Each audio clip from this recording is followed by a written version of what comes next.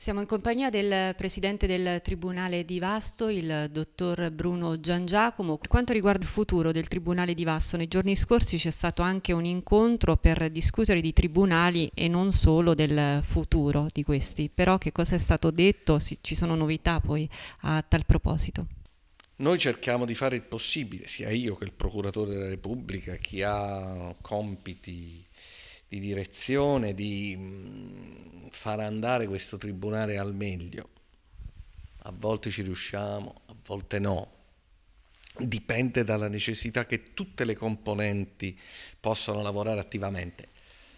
Però detto questo, come dico io, sempre, questa può essere una condizione necessaria ma non sufficiente a far mantenere il tribunale, perché il discorso della chiusura dei tribunali è un discorso che è stato fatto fatto da una politica volta al risparmio di spesa.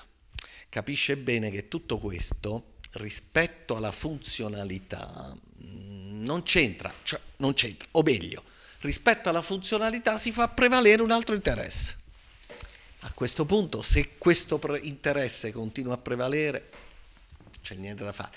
E la prevalenza di un interesse piuttosto che di un altro una funzione tipica nel sistema democratico della politica e quindi è la politica che ha questo tipo di responsabilità.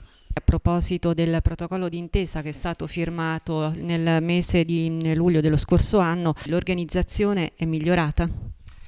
Ma direi di sì, mm, perché facciamo, mi sembra che anche gli avvocati siano soddisfatti, perché? Perché questo protocollo tende a dare un'organizzazione delle udienze con orario puntuale e fisso e non come si faceva una volta che processo, i processi venivano messi in udienza dalle 9 in poi. Naturalmente lei immagini un test che stava, veniva alle 9 e veniva sentita all'una, l'una e mezza. Oggi si cerca di fare in modo tale che ci sia l'orario puntuale. Naturalmente questo viene fatto anche sulla base di una valutazione del giudice e degli avvocati che a volte può, può essere errata e come si dice si può sforare l'orario. Però questo è un discorso diverso, in ogni caso io non ti faccio stare lì inutilmente per tanto tempo. E questo è un vantaggio anche per gli avvocati, i quali si, eh, diciamo, eh, arrivano in udienza in ragione dell'orario previsto. E insomma un modo di organizzare, razionalizzare l'udienza, non mettere un sacco di processi che poi non riesce a celebrare o a rinviare inutilmente e fare il possibile perché la macchina venga fatta, venga diciamo marci in modo più organizzato, eh, più appropriato. Lo stiamo facendo anche per il settore civile è un pochino, ci sono mm, delle difficoltà per il settore civile perché c'è il processo civile telematico che ormai è a pieno regime e ha qualche problema, non che il settore tecnico abbia qualche problema, tutto sommato il processo civile telematico qui va, ma insomma questo richiede un po' una rielaborazione del lavoro dei giudici e degli avvocati e quindi su questo ci si sta confrontando. L'estate non riusciamo a garantire anche questo protocollo? Quello che io spero, cui spero di arrivare, come l'anno scorso, prima dell'estate abbiamo fatto quello penale, questo è un po' più difficile. Questo vale anche per il gratuito patrocinio, eh, che è una cosa che gli avvocati interessa molto affinché ci siano delle liquidazioni rapide. A proposito di personale, è sufficiente per sostenere il lavoro che deve essere svolto qui al Tribunale di Vasto? È una situazione ancora gestibile. L'anno scorso abbiamo avuto i lavoratori socialmente utili della Regione, sono stati importantissimi. Quest'anno speravamo di averli e non, non ci sono ancora arrivati. C'è un problema delle qualifiche perché casomai abbiamo qualche scopertura in certo settore e qualche surplus in qualche altro settore. Questo eh, perché non tutti all'interno del personale amministrativo possono fare tutto. Sia quelli con qualifiche superiori non possono fare cose di qualifiche inferiori e viceversa.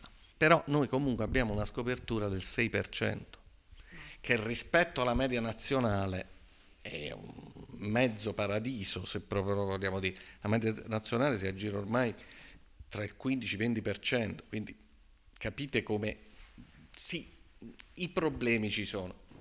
E, e ripeto, è importante, senza il personale amministrativo i processi non si fanno.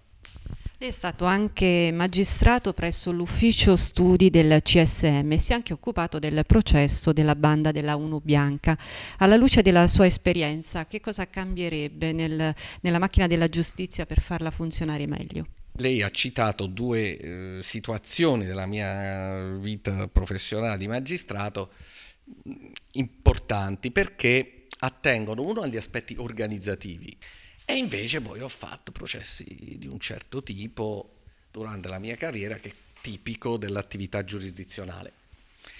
Detto questo però, la macchina della giustizia è una macchina complessa e se non va eh, non c'è una casa, causa unica. Però io due cose gliele voglio dire prendendo eh, dei dati abbastanza, secondo me, importanti. Uno per il penale, uno per il civile.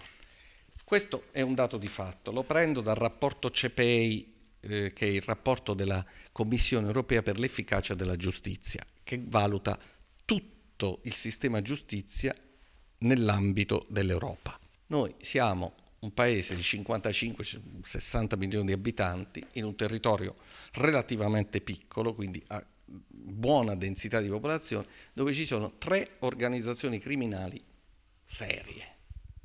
Mm? Camorra, andrangheta e mafia, più qualche d'un'altra che non scherza, ce ne abbiamo qualcuna anche nelle Puglie, quindi non è. Ma prendiamo queste tre tradizionali. Questa situazione non c'è in nessuno Stato dell'Europa, nessuno. Nessuno ha questo tipo di criminalità a questo livello. Questo determina una cosa assolutamente eccezionale e gliela dico subito, che noi siamo il primo paese in Europa, ripeto, il primo paese in Europa per processi portati davanti a un tribunale. Ogni anno c'è una media di 1.400.000 processi penali portati davanti a un tribunale. Al secondo posto c'è la Russia, che ne porta poco più di un milione, ma la Russia fa 150 milioni di abitanti, noi ne facciamo 60 milioni. Un paese come la Francia, che ha poco più di abitanti di noi, 60-65 milioni di abitanti, è al quinto posto e porta 600.000 processi davanti a un tribunale, cioè meno della metà dei nostri. Civile. In civile siamo al secondo posto annuo con 2 milioni e 400 mila cause l'anno siamo secondi solo alla Russia, paese che ha 150 milioni di abitanti, che porta 13 milioni e mezzo di cause, quindi fuori quota. Ma le faccio un esempio. La Germania, che fa 90 milioni di abitanti, fa all'anno 1 milione e 500, 1 milione e 600 cause. Noi ne facciamo 2,4. Gli ho fatto questi esempi per dire che la giustizia è un qualcosa che interviene dopo, dopo che la patologia si è manifestata. Quindi eh, per, prestare, per prendere in prestito dalla medicina, la giustizia cura, cura qualcosa che c'è, che si verifica e che si verificherebbe comunque. Ma se io non agisco sulla prevenzione, io mi ritroverò sempre una giustizia che deve intervenire, cioè se io non agisco politicamente e socialmente per cercare di contenere, se non eliminare, le forme di criminalità organizzata e associata, io avrò sempre questi numeri e non ci sarà nessun sistema giustizia che lo riesce a tenere o a contenere, perlomeno a contenere. E la stessa cosa vale per il civile. Se noi abbiamo una situazione per cui l'inadempimento, la crisi derivata da crisi economica, da furbizia, da quello che le pare, da persone che vivono in un certo modo, se questo non si trasforma, se questo fenomeno non ha una sua riduzione, non c'è nessuna giustizia che lo può reggere. Pene più pesanti potrebbero in qualche modo aiutare a migliorare la prevenzione? Ma guardi, mm, francamente io credo di no. E le dico perché anche questa è la cura.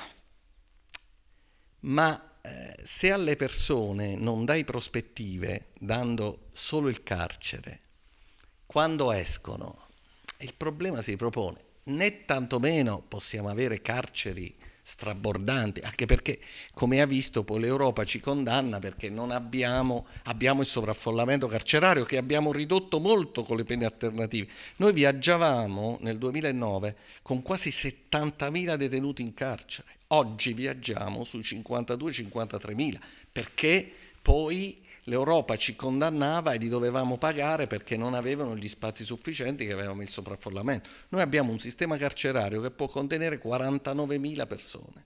Già adesso ne conteniamo qualcuna di più con 52-53.000, ma fino a qualche anno fa ce n'erano quasi 70.000, che è una cosa pazzesca. Cioè il carcere serve per contenere la situazione grave, però poi ci deve essere una soluzione che non sta nel carcere.